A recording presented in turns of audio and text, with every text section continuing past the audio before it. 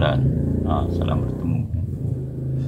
Uh, pada malam ini uh, uh, saya lihat ada sedikit uh, perkara berkaitan dengan situasi semasa uh, politik di negara kita di mana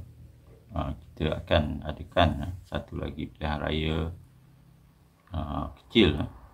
di Kemaman uh, pada 2 Disember tahun 2023 Baik, uh, bagaimana yang kita lihat uh, Menteri Besar uh, Terengganu dicalonkan Pakatan Nasional di dalam pilihan raya kecil di daerah Kemaman ini. Eh, Menteri Besar uh, Terengganu yang berhormat Dr. Ahmad Samsuri Mukhtar dipilih uh, sebagai calon PAS dan uh, dalam gabungan Pakatan Nasional untuk uh, menghadapi pilihan raya kecil Parlimen Kemaman pada 2 Disember tahun 2023 ini inilah uh, yang dapat kita lihat uh, perkembangan baru dalam uh, pilihan raya yang akan berlangsung tidak lama lagi baik peluang uh, PAS dan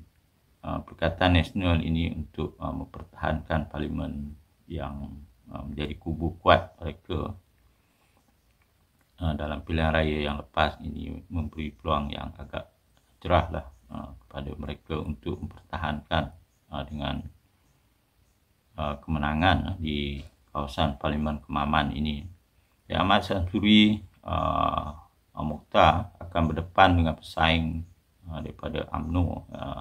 Barisan Nasional ini yang diwakili oleh uh, Jeneral Besara Raja Muhammad Afendi Raja Muhammad Noor uh, yang dipertaruhkan mewakili uh, Barisan Nasional dan uh, Pakatan Harapan yang juga beliau merupakan bekas Panglima Angkatan Tentera Malaysia yang bersara.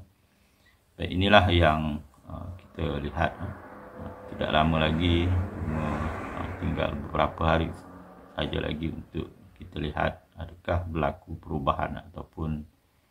uh, kerajaan PAS ini masih uh, menjadi kerajaan yang dominan uh, di negeri Pantai Timur khususnya di Kelantan dan Terengganu. Ya, sama-sama kita lihat ataupun adakah ada satu perubahan yang akan berlaku dalam pola